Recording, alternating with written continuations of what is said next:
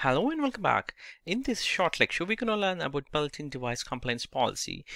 You can treat this as a lecture for the troubleshooting purpose or for the good understanding, but this is very critical. Uh, if you don't understand this, you might uh, encounter different issues throughout the uh, course um, to begin with that, uh, let me go back to the Microsoft Intune. Let me show you where exactly this built-in uh, device compliance policy. So you can check out here, the compliance policy settings are available under device compliances. Uh, this is nothing but device um, compliance specific to the uh, built-in policy. So you can change either complaint or non-complaint uh, based on these three different settings. So these three different settings are very critical. Uh, in other it's going to actually uh, configure additional security for all the devices as it enables uh, for the administrators to uh, make as a it's going to uh, make it in the within the console as a complaint let me show you that also um, uh, for example if I go back to the all devices here it's showing as a complaint already for the Chris device. Uh, but what if the built-in device policy itself not a complaint? Because it is complaint because the Android enterprise work profile policy policy has been assigned. That's why it is uh, the fir first built-in policy is in complaint state.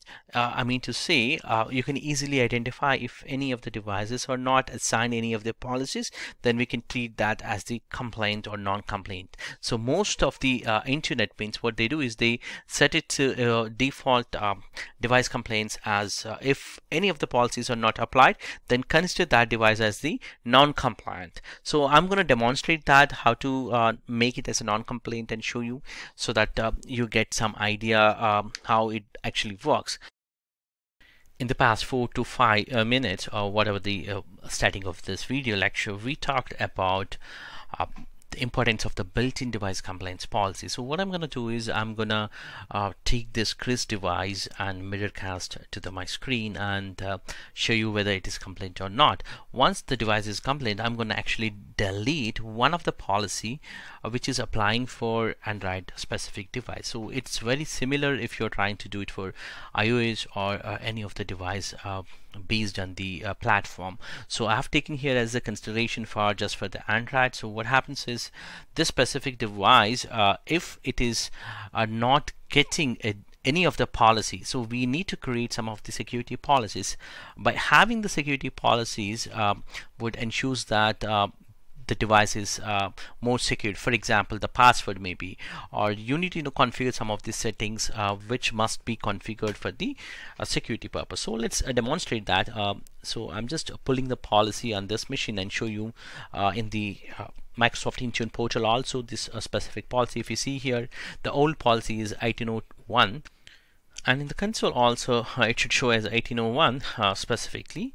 So let's go back to the overview or let's go back to the devices uh, another way uh, Chris select that's Chris specific device and have a look on it 1801 uh, it is compliant uh, which is 1601 24 p.m. it has compliant so what I'm gonna do is uh, it should um, any point of time since we checked for the device settings and the policy has been pushed out uh, it's it might have take some time to uh, come up the policy time. For example it is 1818 or 1817 between. It has pushed out the specific settings. Now uh, the, it's complaint. So if I refresh in the last check-in uh, timestamp is uh, 1617 you can get it uh, from the more uh, uh, by clicking on that more more to see. So this is where um, you get it actually more information with the last check-in time. So if any device if you're trying to establish a communication problems if you think that you need to check out for the last check-in time.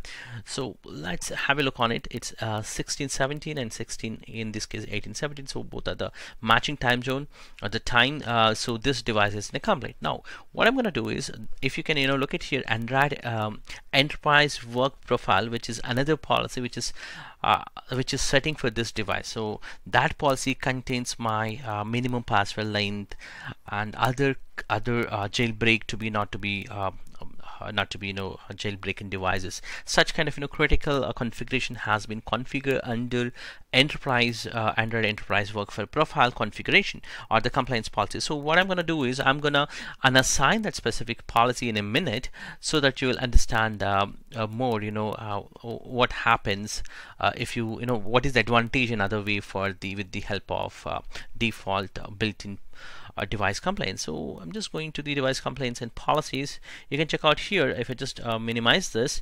Uh, this is the Android Enterprise Work Profile and assigned is yes because um, we did assign uh, this specific policy to a specific group for the CRIS. Uh, and you can check out these uh, three different settings which are talking about marking the device for the complaint to non-compliant uh, by applying this built-in device compliance policy. So the first uh, setting which is talking about marked devices with no compliance policy assigned. That means if no policy has been assigned to that uh, device, how do you want to treat? You want to treat as the complaint or non-complaint. So assume that let's take a one business case. You you invited or one of the user uh, has enrolled to the device but there's no policies has been uh, applied for the complaints purpose. So how do you know that? So it would be difficult if uh, the uh, device does not have any password or he, he can play around it um, like if he lost it the company data also lost almost. So to secure or if you want to configure conditional access that must be uh, device must be uh, compliance because conditional access is nothing but if the device is not in your uh, region not from your not coming from your location or not coming coming from a specific subnet. Uh, so it would, you know, point or it would check all these conditions. So when it's a condition here, the complaints are non-compliant. That information need to be validated. So that's why the built-in uh, device compliance policy is very critical and very important. So what I'm going to do is here, I'm going to make this uh, as the uh, non-compliant um, like if there is no policies assigned if no policies assigned I'm treating as a non-compliant uh, and uh, also uh, to make that definitely Android Enterprise work profile which is currently assigned I'm gonna unassign that. So just select that policy go to the assignments and uh, simply take out the target for the and T with uh, demo users. So that would save um, once you are saved uh, again I have to you know just further wait for some time or I can um, here it's not now it's not assigned definitely. But uh, uh, what I can do is I can you know pull up the policy uh, to again get the get the details. So that would actually get the policy information and it should show me as the non-compliant. So I'm just trying to do the um, uh, sync also. So once I once it's synced uh, I'm gonna wait for a minute and then you can check out the 21 is the uh, current timestamp and it's a 20 so it's close to the timestamp and uh, this might take a minute or so uh, in the Intune portal because it's not immediate like as uh, like you see on end users device. That's why you know you can see here it is showing as a complaint. But I might have to wait for a minute or so and I can drill down further with the device complaints on that specific device whether they are complaint or not. So it's still the same case. So I'm just syncing here uh, so that it's going to sync up. It's going to sync up and if you see here on the device anyway it's showing uh, the devices uh, devices uh, needs to be updated device settings to be a complaint. So if I just either refresh or the uh, page loaded uh, it should actually show up. So I'm trying but it doesn't work maybe because of the uh, page load also because I may have to wait some more time to actually see. I can't force it. So it's take it will take some time because that's how Intune works because it's a cloud service so it might take some more time uh, let's give another five minutes. That's uh, that's what if you push out any of the policies see it, it's now uh, showing as a non-complaint so you need to give at least five minutes of time. So has a complaints policy assigned? No. So it's not apply uh, it's not assigned. That's why it says the default uh, device complaints policy is not applied. So if I refresh now it should actually show me that uh, this specific device is non-compliant. So I'm just syncing and refresh now the device is showing as a non-compliant, so uh, I can just uh, minimize and uh, show you here.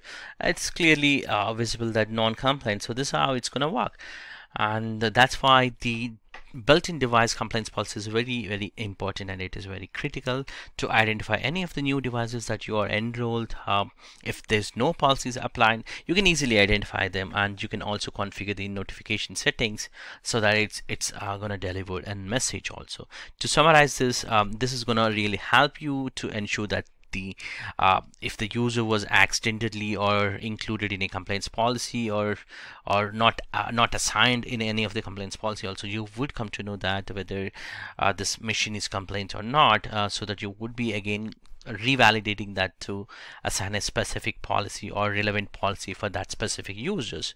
And that's how it's going to work. Thank you for watching this